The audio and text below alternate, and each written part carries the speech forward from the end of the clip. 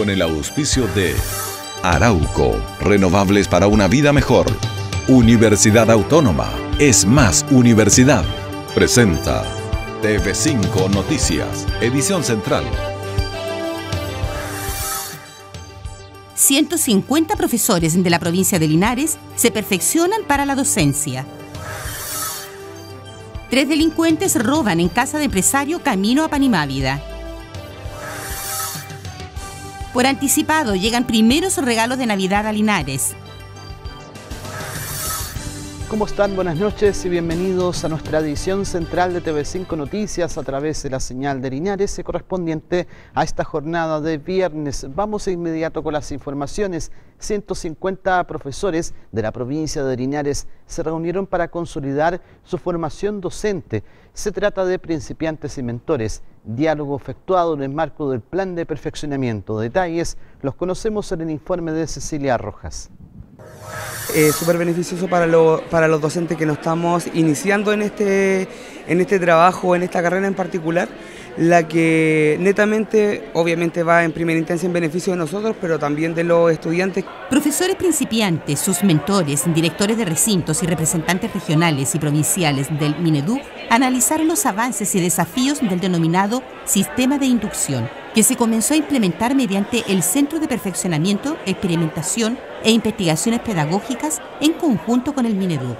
Es una experiencia gratificante para poder compartir ideas con otras personas de otras comunas, de otros establecimientos, poder entender lo que es trabajar con mentorías, que es un apoyo para engrandecer lo que es el currículum y el trabajo en el aula con los niños.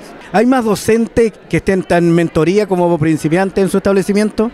Bueno, hoy día en, en nuestro establecimiento hay dos, pero me imagino que en este proceso van a ser mucho más las personas que van a optar por participar, ya que es una gran ayuda en el inicio de la carrera docente. Siempre necesitamos una orientación y un acompañamiento que nos permita desarrollar de mejor forma nuestro trabajo. El nuevo sistema de mentorías busca facilitar la inserción de los profesores principiantes en las comunidades educativas.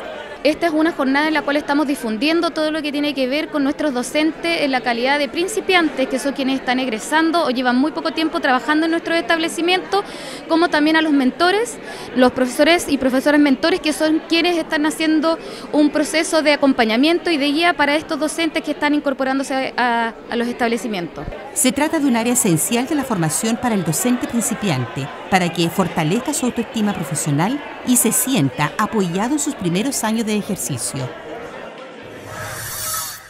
Y vamos a otras materias, golpes y lesiones con cuchillo, robo de especies, incluye el asalto a un empresario y su esposa en su domicilio de Camino a Panimávida. Se trata de los suegros del reconocido empresario del rubro Berry, Saramiro Garrido. La PDI indaga este hecho delictual.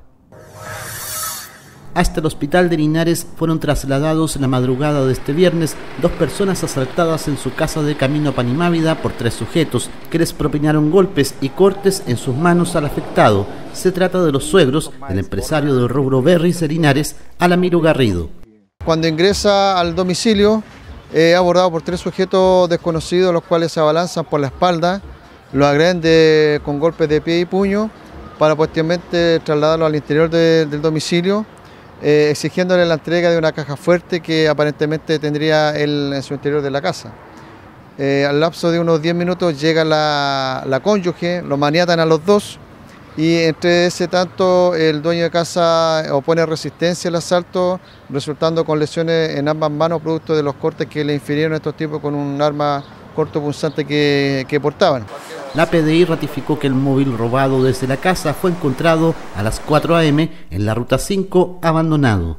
Ellos actuaron sobre seguro, eh, sus rostros cubiertos, eh, obviamente con armas cortantes para evitar también la acción de los, de los propietarios del domicilio. Hacer presente que el vehículo apareció en el sector eh, a unos 500 metros donde está la nueva tenencia carretera, así que se están revisando cámaras de seguridad para establecer si ellos participaron en conjunto con otro vehículo. Las diligencias continúan para ubicar a los responsables de este asalto.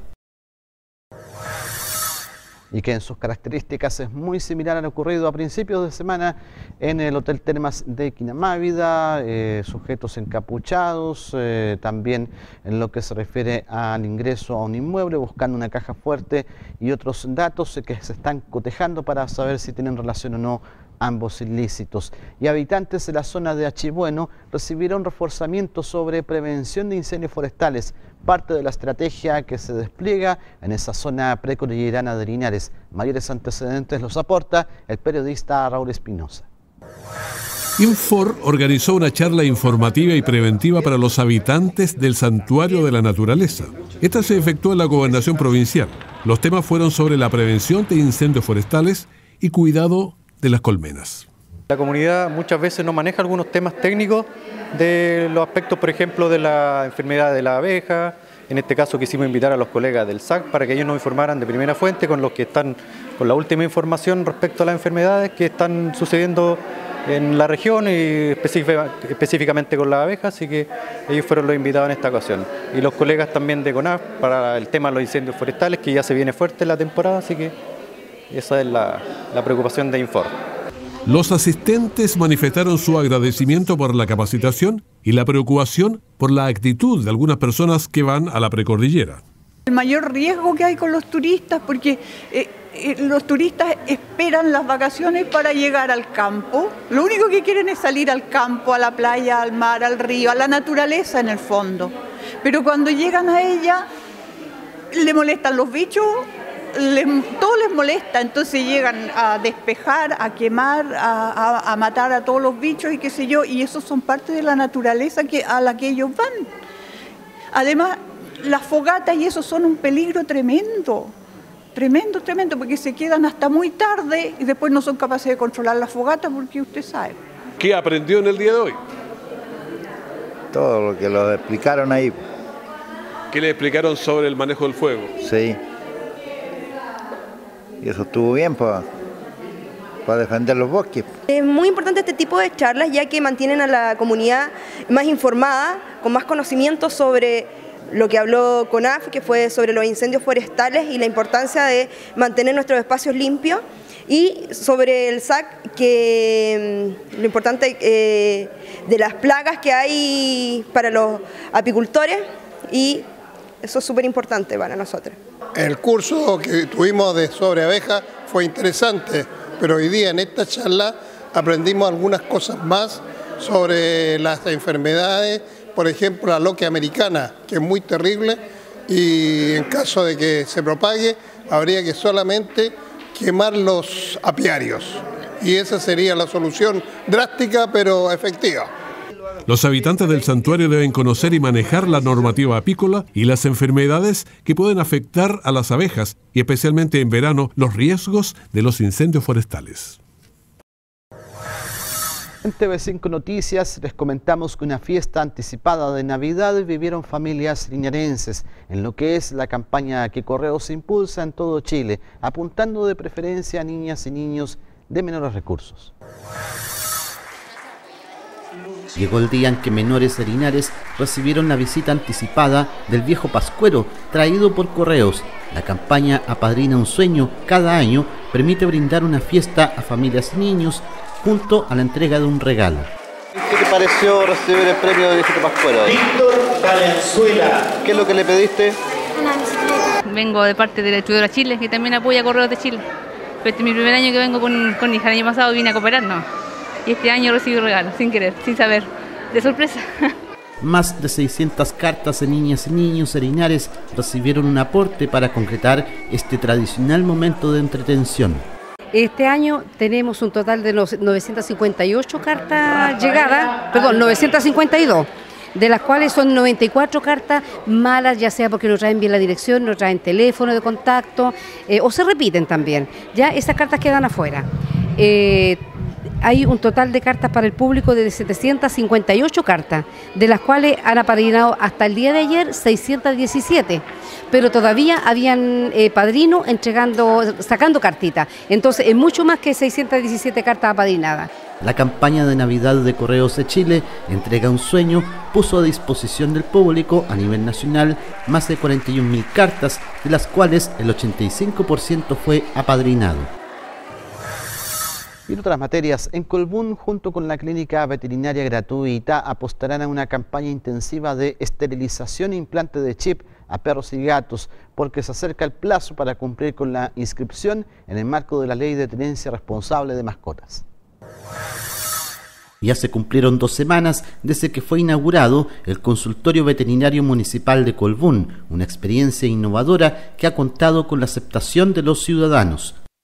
Muy buena iniciativa del alcalde, eh, me parece súper bien, hay mucho perro vago, es una gran ayuda para la comunidad. Bueno, es un avance para la comuna, eh, porque bueno, hay otras veterinarias que hay que pagar o que de repente no atienden. Las prestaciones han aumentado en la medida que surgen las complejidades de la demanda. Vemos la morbilidad, que son las enfermedades que están eh, día a día produciéndose, problemas gastrointestinales, respiratorios, algún de origen traumático, atropellos, golpe, algún tipo de peleas, mordedura, eso sí tenemos posibilidad de ser atendidos. Pero también la tarea de atención implicará instalar un chip y registro para 1.600 mascotas. Este chip que se, que se coloca es un chip de identificación de la mascota que le permite al dueño eh, tener la certeza, digamos, de eh, este proceso de estilización y de que es dueño de la mascota, donde aparece el, nombre del dueño, el nombre de la mascota, qué sé yo, y la dirección. Eh, sobre todo cuando las mascotitas se pierden es importante poder acceder a esto. Y ahora también invitar a la comunidad a que haga el registro, porque una vez que se esterilizan las mascotas y que se les coloca este chip, hay que en una plataforma, digamos, en internet, donde se tiene que registrar eso. Una tarea no menor, considerando que se quiere colaborar para que perros y gatos estén inscritos en el registro de mascotas antes del plazo legal del 12 de febrero de 2019.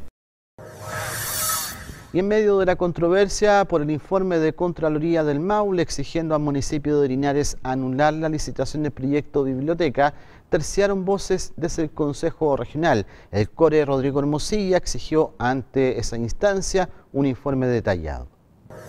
Nosotros habíamos conversado en la comisión, lo habíamos aprobado ya el día anterior, porque yo soy miembro de la Comisión de Educación y Cultura, ya lo habíamos aprobado y habíamos conversado nosotros con nuestros colegas de otras comunas, de otras provincias y de otras comisiones para que en el Pleno pudiéramos tener la unanimidad. Y así fue, se aprobó en forma unánime, son recursos nuestros del gobierno regional para construir este proyecto. Entonces, a nosotros nos, nos sorprende lo que ha ocurrido y quién dirá quien tiene la razón tiene que ser un informe que yo he solicitado. Así que yo espero que en las próximas horas tener ese informe a la vista y ojalá podamos despejar esto, porque lo verdad, los recursos se aprobaron para que la biblioteca se pudiera construir, pero sin embargo hoy día la Contraloría se ha pronunciado y eso ha detenido el proceso y yo quiero que un informe pertinente para saber qué es lo que ha ocurrido.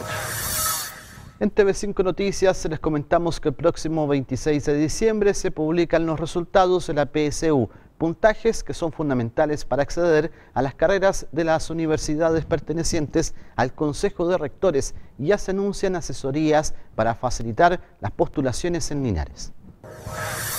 Desde el próximo miércoles 26 y hasta el sábado 29 de diciembre estará habilitado en la Universidad de Talca, Campus Linares, un centro de ayuda al postulante para acceder a la educación superior. La iniciativa tiene por objetivo asesorar a los estudiantes y se dispondrá de un horario de 9 de la mañana hasta las 18 horas de manera continuada. Recordemos que los resultados de la prueba de selección universitaria PSU estarán disponibles el 26 de diciembre a través de la página del DEMRE. Y los feriados son irrenunciables en Navidad y Año Nuevo, tema que recordó la autoridad del trabajo en visita inspectiva a Linares. Multas que van desde los 241 mil a 967 mil pesos por cada trabajador se exponen los empleadores que infrinjan la norma relativa a la extensión horaria del comercio por las fiestas de Navidad. Tema recordado por autoridades del trabajo en visita a espacio urbano de Linares. Ya lo teníamos conocimiento en todo caso. ¿Ya están eh, tomadas las medidas? ¿Les avisaron a Sí, todo. ¿Y esos días a qué hora cierran ustedes? Seis y media. El 24 se termina a las seis y media y el día 25 está cerrado. O sea, recomendarle a, los clientes que vengan temprano o vengan con anticipado. Claro, ojalá en la mañana. que en la tarde después aquí igual se llena. El llamado a los clientes es a no dejar para última hora las compras, porque los trabajadores del comercio tienen derecho a compartir con sus familias. Son fechas importantes para la familia, para los trabajadores y especialmente ahora este día 24 en que estamos difundiendo, ¿no es cierto? Es que es un feriado irrenunciable, lo mismo que el día 31 eh, de eh, primero de enero. Por lo tanto, queremos traer una señal clara de que eh, tanto el gobierno, ¿no es cierto?, como sus distintos servicios, en este caso el trabajo, Estamos pendientes de que estos derechos se cumplan. La Autoridad del Trabajo recordó que existen excepciones a la norma en caso de algunos servicios de urgencias y entretención. Se exceptúan aquellos locales que tienen que ver con el tema de salud, el tema de las farmacias de urgencia, los que están adosados a Servicentro y aquellos también trabajadores que eh, no trabajaron el año pasado, porque hay una excepción ahí respecto a trabajadores que siguen con el mismo empleador y están, eh, pudieron excepcionarse del trabajo el año pasado y le pueden pedir que trabajen este año, siempre que sea el mismo empleador. Adelante sus compras navideñas, que el centro comercial día 24 cierra temprano, ya y bueno, estamos esperándolo con toda la disponibilidad de poder atenderlo de la mejor forma acá en el centro comercial. En este recinto, recordemos, hace un par de semanas falleció un obrero y siguió atendiendo público. A continuación, en TV5 Noticias, revisamos, como es habitual, el informe del tiempo.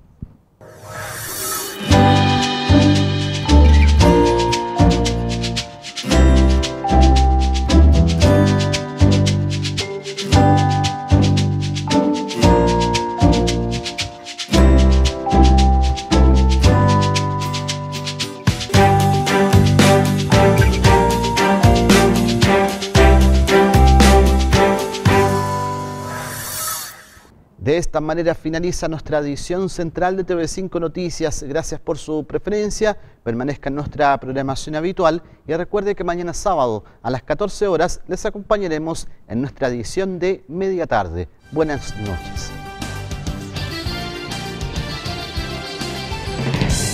Con el auspicio de Arauco, renovables para una vida mejor. Universidad Autónoma, es más universidad. TV5, la señal de Linares presentó TV5 Noticias, edición central.